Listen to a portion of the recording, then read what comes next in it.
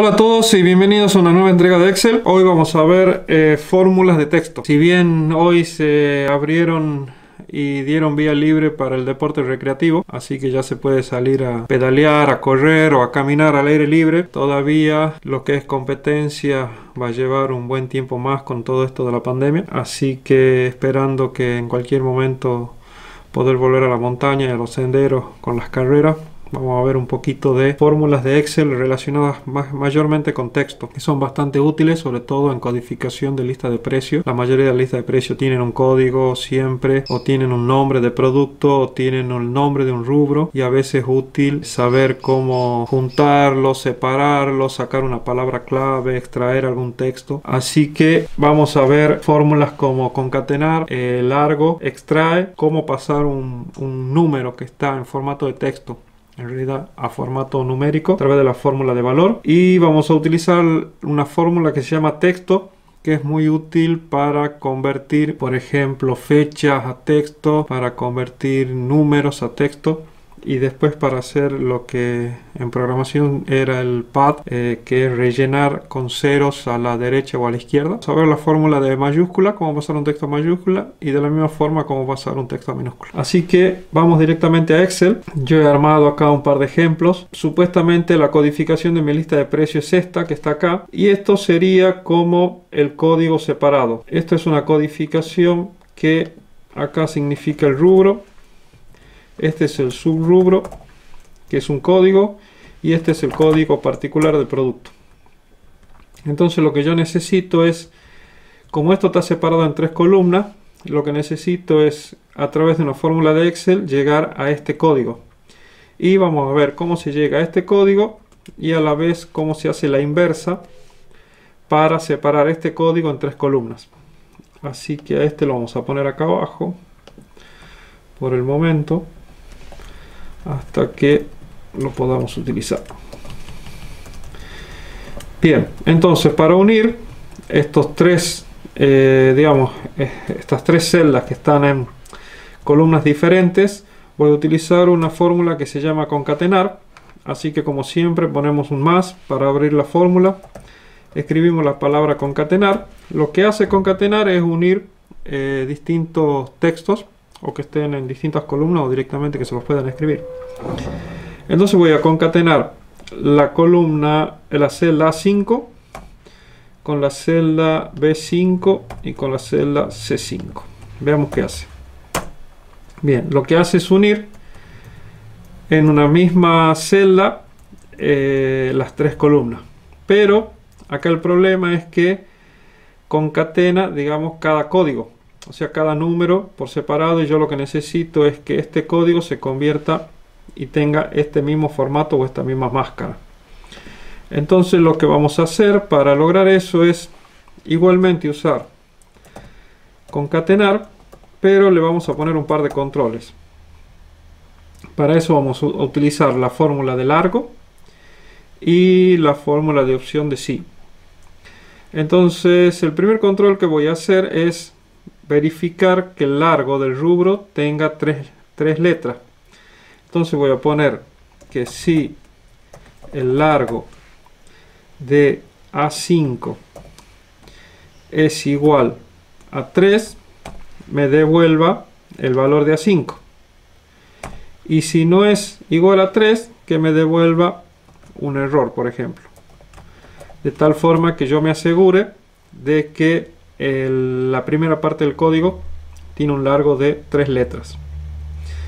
A partir de ahí lo que necesito es al subrubro convertirlo en texto, pero tiene que tener dos posiciones. O sea, tendría que ser este 1, se tendría que convertir en 0, 1.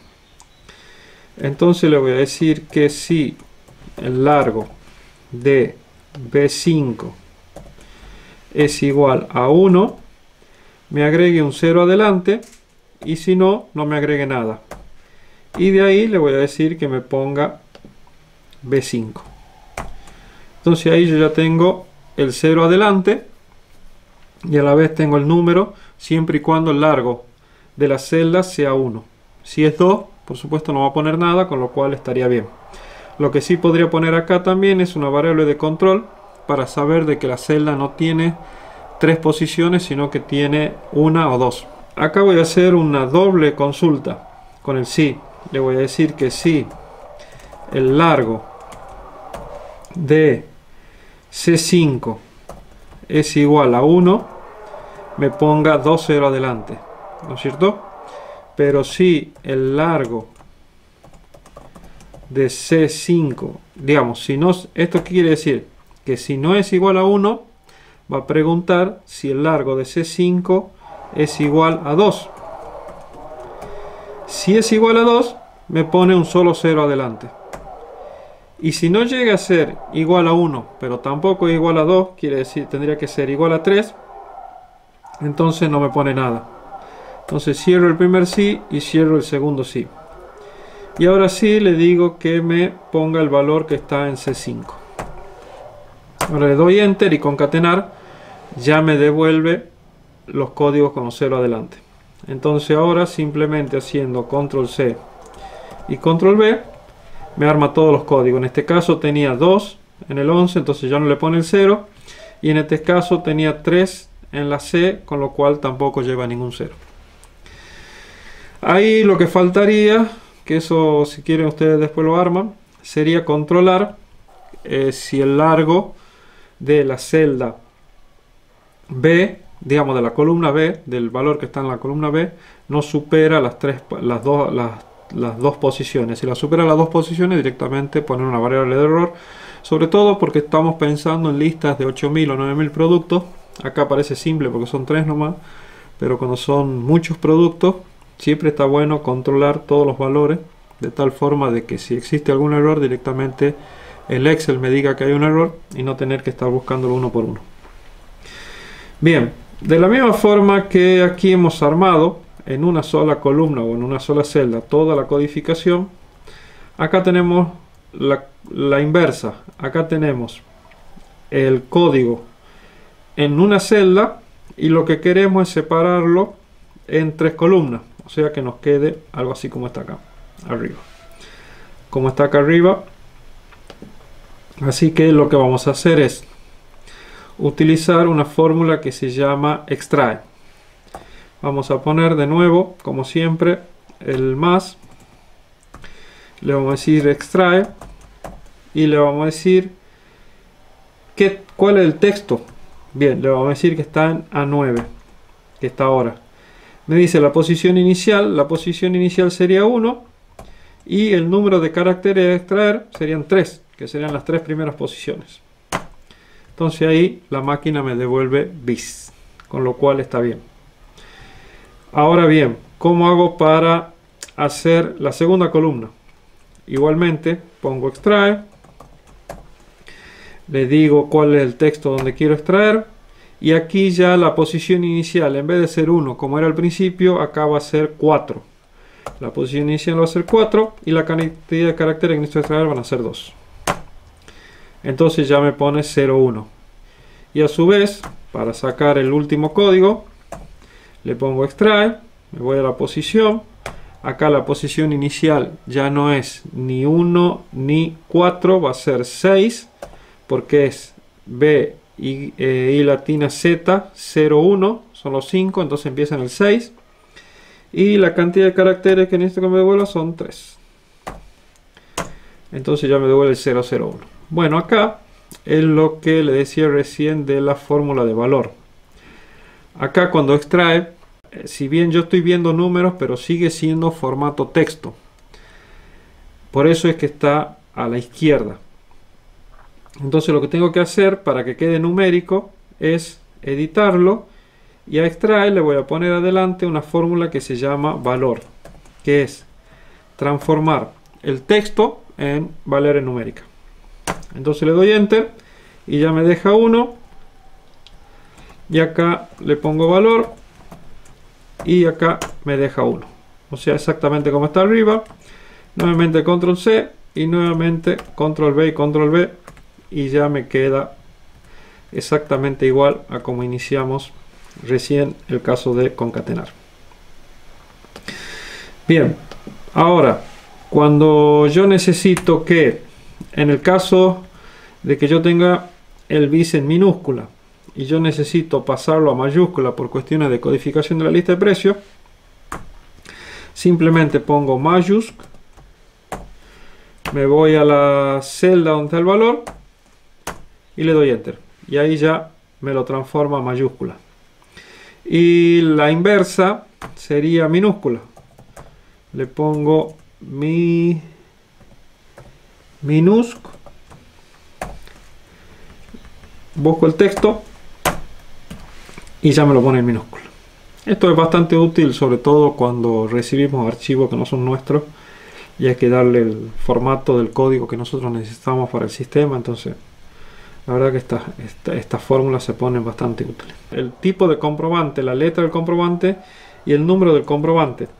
Hay casos en los que lo tenemos en cuatro columnas, como puede ser acá, y hay casos que me aparecen en una sola columna a veces los sistemas los exportan en una columna y a veces los exportan en cuatro columnas. Entonces, si por cualquier razón yo necesito que estas cuatro columnas me queden en este formato, más que ver largo, vamos a utilizar una fórmula que se llama texto. Entonces lo que le vamos a decir es para que me quede en este formato estas cuatro columnas, ven que tienen acá los ceros iniciales, que son los normales que se le pone un comprobante. Le voy a decir que necesito concatenar. Bien yo necesito concatenar lo que está en la A18 que es el comprobante. A su vez le dejo un espacio. Le digo que necesito la B18 que es la letra. Le dejo un espacio. Y aquí vamos a utilizar la fórmula texto voy a volcar a texto este número y le voy a decir que el formato necesito que tenga cuatro posiciones. Una, dos, tres, cuatro posiciones. A la vez le voy a dejar un espacio y a la vez voy a hacer texto de la última que sería el número del comprobante y este necesito que tenga ocho posiciones. O sea, tiene tres números ahora necesito que le agregue 5 0 adelante. Entonces lo que necesito son 8 posiciones. 1, 2, 3, 4, 5, 6, 7, 8. Bien.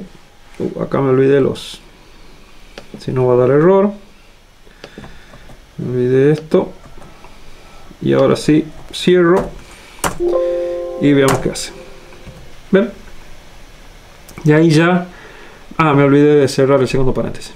Y ahí ya me arma en una sola celda, como verán acá, el formato de eh, el mismo formato que tiene acá el comprobante. Esto sería para cuando tengo el comprobante dividido en cuatro celdas, a su vez lo necesito en una sola celda y necesito que tenga los cuatro, cuatro ceros adelante y los ocho ceros y sea de ocho posiciones el número, entonces utilizo la fórmula de texto. Esto es bastante útil cuando tengo los libros IVA y necesito a veces ver la, a veces la correlatividad de los comprobantes o a ver si, ver si existe algún comprobante, ese tipo de cosas, o a veces cruzar dos libros IVA o dos, dos libros con comprobante. Es bastante más simple poner todo en una sola celda y hacer una sola comparación con el otro documento que tener que buscar si existe en distintas columnas el mismo documento. Bien, ahora de la misma forma, bueno, ya esto ya hemos visto recién cuando hemos visto extraer, pero de la misma forma la inversa sería volcar esto en cuatro columnas, que sería extrae de texto, la posición inicial es 1, necesito los tres primeros. Bien, acá voy a hacer extrae de el texto Acá la posición inicial ya sería la F, la A, la C, el espacio y recién la posición inicial sería 5. Y acá necesito uno solo, que sería la letra. Y acá voy a hacer lo mismo. Voy a hacer valor, extrae del texto y ya tengo la F, la A, la C, el espacio, la B, la, letra B, el espacio y la posición inicial sería 7 y serían 4 las posiciones con la cual tengo un 1 y acá sería lo mismo con valor extrae del texto busco cuál es la posición inicial, sería eh, la F, la A, la C, el espacio, la B, el espacio, 0001, el espacio, estoy en 11, en 12. Sería 12 y lo que necesito que me extraiga son 8. Entonces ya tengo el 232. Acá también podría haber utilizado para el 232 una fórmula que se llama izquierda. No, perdón. Eh, en este caso sería derecha del texto. Y yo le digo que necesito 8 caracteres. Entonces me devuelve esto. Bueno, de la misma forma tengo que pasar esto a valor. Entonces me vuelve a 232. Y si hubiese querido utilizar izquierda, en realidad izquierda. Para el texto podría haber sacado las tres primeras posiciones utilizando izquierda y las ocho últimas utilizando derecha. Bastante útiles izquierda y derecha depende para lo que necesitemos. Y si no ya saben con valor y extrae bueno para volverlo numérico a los números que están en formato de texto y extrae para sacar eh, las posiciones que necesito. Ahora vamos a ver cómo podemos separar un texto encontrando dentro del mismo eh, algún carácter que nos permita separar un texto de otro. Básicamente aquí lo que necesitamos es, tenemos el número 1345.34 que está alineado a la izquierda porque Excel entiende que esto es un texto porque eh, la computadora eh, la separación decimal está, está definida por una coma y no por un punto. Entonces si yo quisiera pasar este número a formato, este número que está en formato de texto, a un formato numérico, por ejemplo para sumarlo, si ustedes acá le aplican una fórmula de suma, se van a dar cuenta que no hace absolutamente nada porque Excel está entendiendo de que esto es un texto. Bien, aquí las formas son, puedo hacer un control B, decirle que lo reemplace al punto por una coma. Entonces ahí, como verán, se alinea a la derecha y ahí ya Excel entiende que esto es un número. ¿Ven? Y ahora sí hace la suma. Pero en realidad yo necesitaba esto para mostrarles cómo hacer para separar este número, digamos que en realidad sería el texto que tiene una máscara de número, para separar los que están adelante y los que están atrás del punto. Entonces, ¿qué voy a utilizar? Voy a utilizar la fórmula de valor, voy a utilizar la fórmula de extraer y voy a utilizar una fórmula que se llama encontrar, que lo que hace es buscar dentro de un texto algo que yo le digo que necesito encontrar y me va a decir la posición en la cual se ubica lo que yo le digo que busque. Entonces en este caso, si yo quisiera que 1345 se convierta en número, yo le diría que necesito el valor que me extraiga de A24 desde la posición 1 hasta encontrar el texto buscado sería un punto. Dentro del texto sería A24. Y el número inicial del cual tiene que empezar a buscar es el 1. Y a su vez, le voy a, suma, le voy a restar una posición de tal forma de que cuando me encuentre el punto, me reste una posición de la, de la posición de caracteres que me encuentra para que solamente me devuelva 1345. Bien, cierro el extrae, cierro el valor y le doy enter. Y me devuelve 1345. Si yo le hubiese dicho que, eh, les voy a mostrar lo que le decía, directamente con, eh, si yo le hubiese dicho que me extraiga y no le ponía el menos 1, Si bien me iba a extraer 1345, pero me lo iba a extraer con el punto. Y yo al querer transformarlo en valor me hubiese dado error. Como verán, si yo acá le pongo valor, perdón, valor con apertura, ahí me da un error de valor. Entonces necesito en realidad, porque lo que está bien es que me devuelva la posición donde está el punto y le reste 1, que sería el punto, y ahí ya me devuelve 1345. Bien, de la misma forma, si yo necesito que me devuelva los decimales, yo hago control C y control V y me devuelve todos.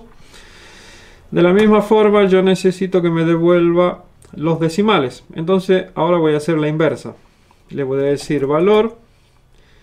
Necesito que él extrae desde este texto. Y ahora la posición inicial en realidad es a partir del punto y no hasta el punto. Entonces acá es donde yo a la posición inicial le pongo encontrar. Necesito que me ubique el punto. Dentro del texto, bueno, el mismo texto nos estamos buscando, el número inicial sería 1.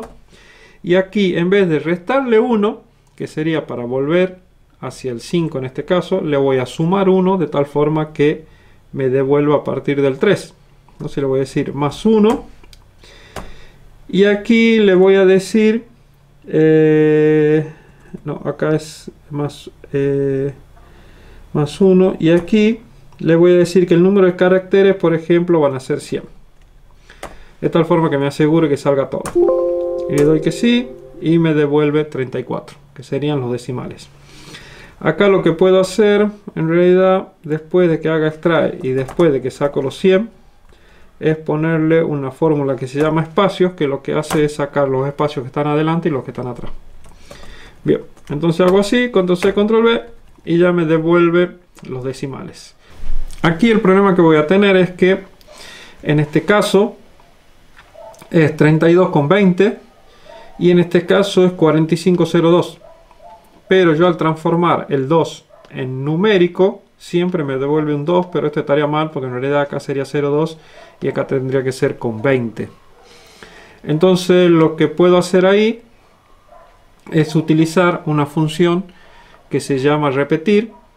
Entonces, vamos a ver si podemos armar esto. Yo le voy a decir que necesito que me saque esto y que a la vez se le pone un AND. Necesito repetir. Le hago un control C para no tener que escribir todo de vuelta.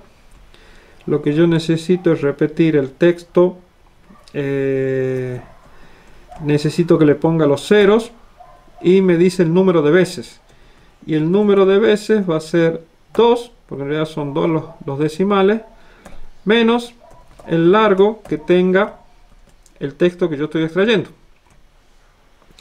y vamos a ver si funciona mm, sería C ahí quedarían todos cerrados este me dice que es 20 y este me dice que es 0,2 Bien, entonces ahora simplemente lo paso esto a valor. Y una vez que está pasado a valor, lo divido en 100, que lo podría haber hecho anteriormente. Eh, esperen un segundo. ¿Dónde está? Lo multiplicado por 100. Yo necesito dividirlo en 100. Entonces, me dice que acá es 20 y acá es 0,2. Bueno, lo mismo podría haber hecho para acá arriba. Y ahora simplemente le digo que lo sume. Y ya pasa a numérico. Bien.